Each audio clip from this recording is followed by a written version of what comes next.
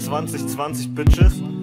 Alex, Nash, Debito, Hoàng in the house, Alter. Jetzt wird abgefuckt, Mann. Let's go. Chào mừng tất cả các bạn đã quay trở lại với chuyên đề hình học chứng minh không phải chứng minh mà là các trường hợp bằng nhau của tam giác. Ở bài ngày hôm trước, bài thứ nhất thì chúng ta đã tiếp cận đến một bài toán liên quan đến vẽ tam giác. Cụ thể hơn là biết ba cạnh thì chúng ta sẽ vẽ được hai tam giác bằng nhau. Hai tam bằng hai tam giác bằng nhau đúng không nào? Theo trường hợp cạnh cạnh cạnh. Mình nói lại này, ở bài ngày hôm trước thì chúng ta đã vẽ một tam giác biết ba cạnh. Và khi chúng ta vẽ thì các bạn sẽ thấy rằng là chúng ta vẽ được hai tam giác bằng nhau theo trường hợp cạnh cạnh cạnh. Đúng không? Và chúng ta chứng minh được rằng hai tam giác bằng nhau theo trường hợp cạnh cạnh cạnh. Thứ bài ngày hôm nay chúng ta sẽ tiếp cận thêm một vấn đề khác.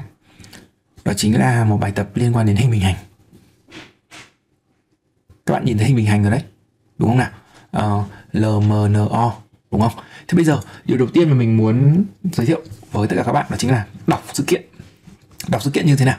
Thế bây giờ người ta cho sự kiện đây là 8 đây là 8 đây là 15 đây cũng là 15 đúng không? Vậy chứng tỏ cạnh LO sẽ bằng với cạnh MN đúng chưa? LO bằng MN thứ hai là cạnh LM sẽ bằng cạnh ON bởi vì 15 đương nhiên phải bằng 15 rồi, đúng không? Hai cạnh này bằng nhau. Rồi. Hết chưa các bạn? Hết rồi và cái thứ ba là chúng ta sẽ biết được một cái góc đó chính là góc L, N, O. Mình đọc góc nhé L, N, O bằng 19 độ. Đề bài yêu cầu tính góc M, L, N, M, L, N. Chính là góc này. Được chưa các bạn? Thế thì bây giờ là muốn chứng minh được góc à muốn tính được góc M, L, N, thì các bạn dự đoán xem là góc M, L, N sẽ bằng góc nào? Mình đoán ngay ra góc M, L, N sẽ bằng góc O, N, L đúng không thế thì hai góc này bằng nhau M này LN mà bằng với ONL thì chúng ta sẽ đặt vào hai tam giác bằng nhau các bạn. Các bạn nhìn thấy ngay là hai tam giác nào. Hai tam giác bằng nhau thì phải đọc đúng thứ tự đỉnh đúng không? Ví dụ như mình đọc là ONL ONL sẽ bằng với tam giác m l n, m l n đó. Thế thì hai tam giác này thì chúng ta sẽ kiểm tra ba yếu tố thì mình học trường hợp cạnh cạnh cạnh mà, thì chắc chắn là theo trường hợp cạnh cạnh cạnh thôi, đúng không? Dễ nhất này các bạn. Dễ nhất là ln chung này. Đấy. Đúng chưa? Cái thứ hai nữa là lo bằng mn lo bằng mn cái thứ ba là lm bằng on cậu này thì bằng 15 đúng không? Cậu này thì bằng 8 thế chứng tỏ hai tam giác này sẽ bằng nhau theo trường hợp cạnh cạnh cạnh. Đúng chưa? Thế thì từ hai tam giác bằng nhau theo trường hợp cạnh cạnh cạnh thì chúng ta sẽ suy ra được các cặp góc tương ứng bằng nhau đó các bạn thấy đơn giản chưa nào? Rồi thế thì bây giờ chúng ta cũng sẽ đi vào lời giải chi tiết nhé lời giải. Đầu tiên chúng ta sẽ xét tam giác ờ, uh, ONL và tam giác. MLN đúng chưa nào? Có. Có ba yếu tố thì mình liệt kê thôi. LN chung. Thứ hai là LO bằng MN bởi vì là cùng bằng 8 8 đúng không? Thì ngoài ra mình có thể bổ sung nhưng đây chính là giả thiết. Tiếp theo nữa là lm bằng on bằng ngoặc ra, cùng bằng à, 15 đúng không? Đây cũng chính là giả thiết. Vậy từ đây chúng ta sẽ suy ra được hai tam giác bằng nhau, là onl bằng với tam giác mln theo trường hợp cạnh cạnh cạnh rồi hai tam giác bằng nhau theo trường hợp cạnh cạnh thì mình sẽ suy ra được các cặp góc tương ứng bằng nhau, đúng chưa? Mình sẽ suy ra được rằng là góc ONL Thôi mình xin phép mình gõ cái góc theo kiểu uh, Kiểu gì các bạn? À, Các bạn viết thế này cho nhanh nhá. Thực sự là viết này nhanh hơn rất nhiều. Nhưng mà thôi các bạn uh, nên ghi cái mũ ở phía trên Thì nó sẽ nhanh hơn. À nó sẽ tiện hơn. Bởi vì là các thầy cô trên lớp ở Việt Nam mình thì đều ghi cái mũ trên. Nhưng mà ở đây thì mình uh, Gõ thì gõ cái kiểu này thì nó sẽ nhanh hơn được không ok. Còn nếu mà các bạn ghi theo góc này thì cũng chả sao cả. Các thầy cũng không chỉ điểm đâu. Mà góc ừ, bao nhiêu? Góc thì ONL Ồ, hình như mình gõ sai cái gì nhỉ? À, mà góc ONL đúng rồi. ONL bằng 19 độ. Đúng chưa? Cái này là giả thiết. Thế vậy suy ra được rằng là góc MLN sẽ bằng 19 độ. Ok. Như vậy bài tập ngày hôm nay đã xong các bạn thấy đơn giản không rất đơn giản đúng không ờ, một bài tập chứng minh ờ, tính góc nhưng mà thông qua chứng minh hai tam giác bằng nhau Thế thì có một cái chú ý rất là hay đó chính là đường chéo của hình bình hành thì chia hình bình hành đó thành hai tam giác bằng nhau rất là đẹp. Các bạn cũng có thể nối nối O với M lại thì mình cũng được uh, các bạn nối O với M lại thì cũng được hai tam giác bằng nhau đúng không? Thì câu chuyện của mình đặt ra là gì? Nếu như vậy thì bốn tam giác này có bằng nhau không? theo các bạn? Nếu chia này ra thì bốn tam giác này có bằng nhau. Một câu hỏi rất hay đúng không? Ai trả lời được thì xứng đáng được các thầy cô của các bạn cho điểm 10. Ít nhất thì một đường chéo sẽ chia hình bình hành đấy thành hai tam giác bằng nhau. Thế còn chia như này ra thì hỏi còn bằng nhau nữa hay không? Thì các bạn tự trả lời nhé. Hoặc là khi nào rảnh thì mình trả lời. Rồi, một bài tập tương tự. Bài tập tương tự là như này. Tại sao mình muốn giới thiệu cho các bạn bài tập tương tự?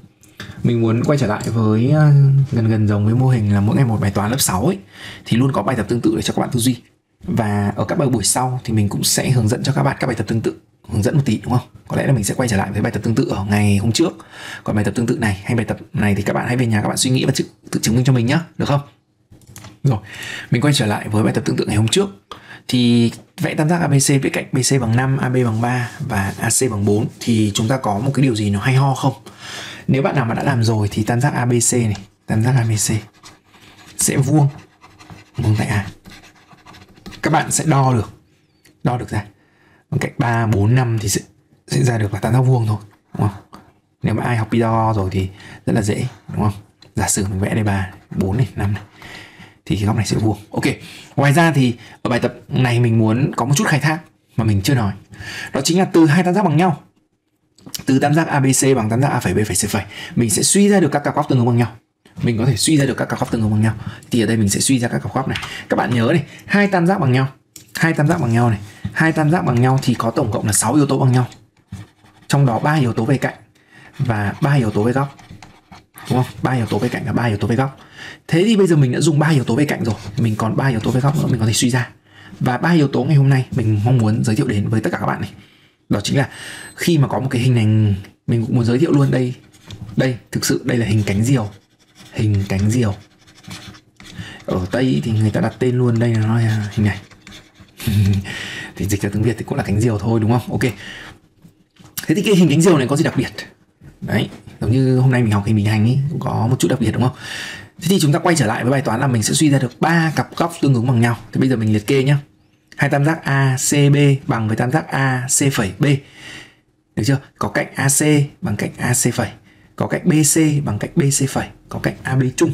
Bây giờ các cặp góc tương ứng bằng nhau này, thì chúng ta sẽ thấy rằng là góc CAB bằng góc C phẩy AB mình ký hiệu bằng nhau thứ hai là góc CBA bằng góc C phẩy B A. Các góc thứ ba mình có thể suy ra được bằng nhau. Mình đổi màu đi tí. Là góc A C B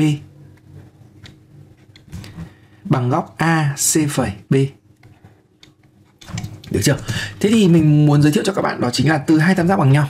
Đây, từ hai tam giác này bằng nhau. Đấy, thì mình có thể suy ra được các góc tương ứng bằng nhau. Đó chính là góc CAB nào mình nhìn lại các bạn nhìn lại CAB bằng C phẩy AB được chưa? Rồi và cặp góc thứ hai mà mình muốn giới thiệu đó chính là đó với các bạn đó chính là CBA và C phẩy BA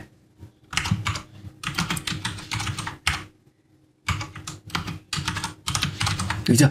Thế thì ờ, hai hai cái góc này thì đều là hai cái góc tương ứng thôi, đúng không? Mình ghi công thức chung là hai góc tương ứng thôi. Đấy. Nhưng thực sự mình muốn muốn, mình muốn giới thiệu thêm cho các bạn đó là chính là gì? Nếu CAB bằng C phẩy AB thì mình có thể suy ra được tia AB tia AB các bạn nhé. Tia AB là phân giác của góc CAC phẩy. Đấy. Ở đây mình muốn giới thiệu tiếp cho các bạn một cái, đó chính là từ hai tam giác bằng nhau mình có thể chứng minh được phân giác rất là hay, đúng không? Tia AB là tia phân giác của góc góc CAC phẩy. Đấy đúng chưa? Có lẽ là mình sẽ phải ghi uh, lên trên này. Đúng chưa? Thì nó mới hợp logic. Đúng chưa nào? Ok và thụt vào một tí cho nó đúng đúng không? Ồ oh, ồ oh. cái này phải cho lên trên. Rồi ok. Rồi thế thì bây giờ nếu góc CBA CBA bằng góc C phẩy với A thì theo các bạn mình suy ra tia nào là tia phân giác? Phải là tia gì? CBA bằng C phẩy BA thì phải là tia BA đấy, tia BA nhé từ góc này, tia BA là tia phân giác của góc CBC phẩy.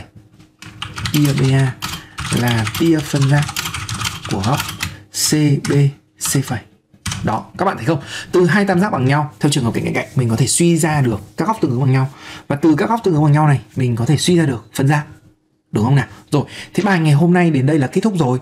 Um, các bạn cố gắng làm cho mình bài tương tự ở bài toán ngày thứ hai nhé chúng ta cố gắng làm bài tương tự này. Đấy thế thì ở bài ngày thứ ba mình sẽ hướng dẫn bài tương tự này, đúng không? Giống như à, chuyên đề về mỗi ngày một bài toán lớp 6 ấy, được không nào? Ok, bài ngày hôm nay đến đây là kết thúc. Xin chào và hẹn gặp lại tất cả các bạn. Bye bye. Nhớ like, share và subscribe nhé.